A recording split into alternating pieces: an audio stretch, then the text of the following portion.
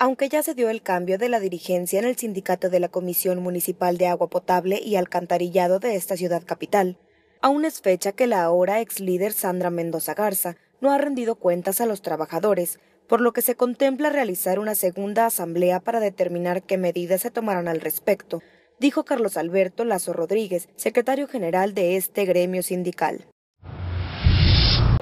Bueno, se le citó hoy, como te digo, hoy estaba citada, pero no fue hoy a las 9 de la mañana. Es la primera, este, es la primera petición que le hemos pedido. Yo como representante, yo debo de tomar un acuerdo con la asamblea.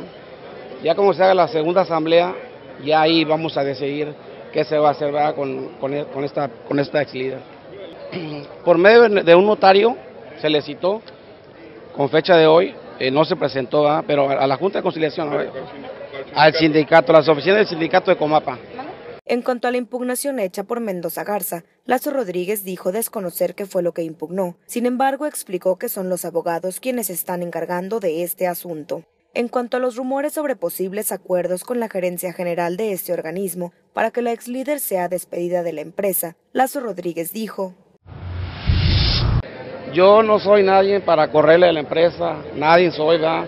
Es una compañera, o sea, yo no soy absolutamente nadie para correrla. Nosotros trabajamos, para, para defender los derechos del trabajador, ¿verdad? Yo no soy nadie para, para correrla, para expulsar al sindicato, y no soy porque es una, una compañera más. Para Notivisa Tamaulipas desde Ciudad Victoria, Carla Mendiola.